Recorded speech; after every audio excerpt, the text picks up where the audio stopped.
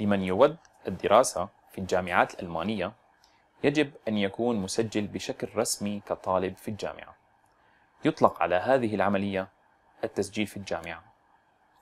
يمكن للطالب إتمام الخطوات الأولى للتسجيل في الجامعة في العادة على شبكة الإنترنت لكن يتوجب على الطلبة غالبا الحضور للجامعة شخصيا لتوقيع استماراتهم.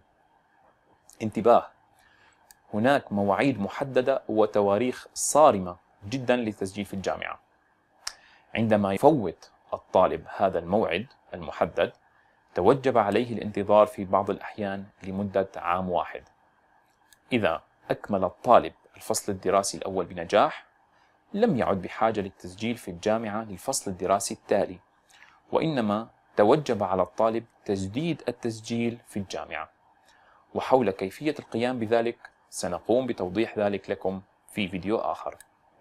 نصيحتنا لكم يجب عليكم قراءة كل الشروط والضوابط الخاصة بالتسجيل في الجامعة بعناية على الموقع الإلكتروني للجامعة.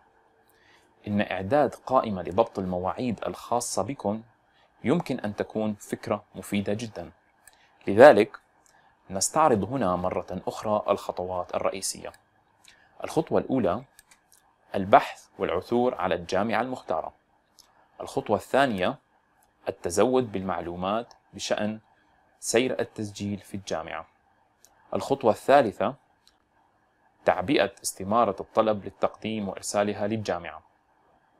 الخطوة الرابعة انتظار الجواب من الجامعة.